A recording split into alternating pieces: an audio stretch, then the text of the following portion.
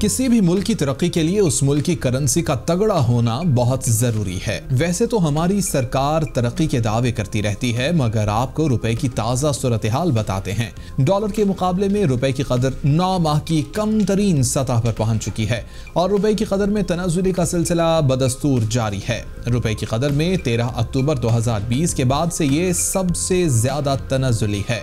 आज इंटरबैंक में तकरीबन एक सौ सड़सठ रुपए, तिरसठ पैसे के करीब मौजूद है। ओपन मार्केट में एक सौ उनहत्तर रुपए से ऊपर डॉलर की आवाज़ लग रही है। एक सर्वे के मुताबिक, इस वक्त पाकिस्तानी रुपया एशिया में बदतरीन कारकर्दगी दिखाने वाली करेंसी बन चुका।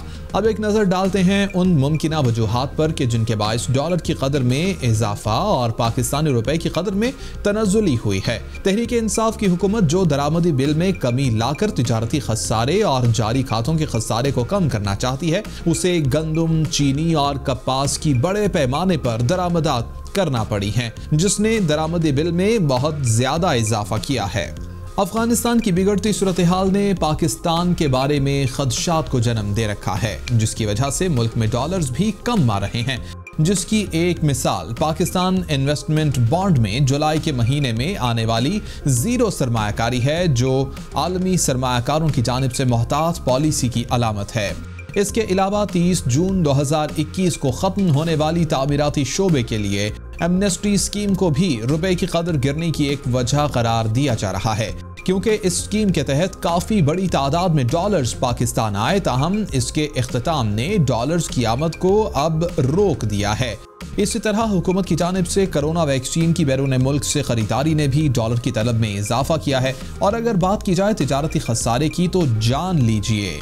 कि अगस्त में तजारती खसारे में सालाना एक सौ चवालीस फ़ीसद इजाफे ने चार आशारिया तेईस अरब रुपए की बुलंद तरीन सतह पर पहुँचने से रुपए पर नया दबाव डाल दिया है।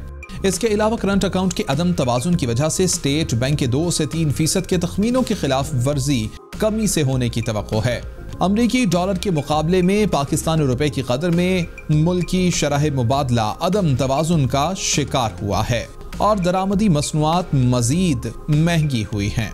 याद रहे कि अमरीकी डॉलर की कदर में इजाफे के बायस मुल्क की ज़रूरियात को पूरा करने के लिए बैरून मुल्क से मंगवाई जाने वाले गंदम और चीनी की कीमतों में भी इजाफा होगा। रवा बरस मई के महीने में एक अमरीकी डॉलर की कीमत एक सौ बावन रुपए पाकिस्तानी थी। जो 2020 में एक सौ अड़सठ रुपए तक ऊपर जाकर वापस इस सतह पर गिरी थी। ताहम मई के बाद डॉलर की कीमत में मुसलसल इजाफा देखने में आया है। और दो महीनों में इसकी कदर में इजाफा होकर एक सौ सड़सठ रुपए की हद से तजावज कर गई है।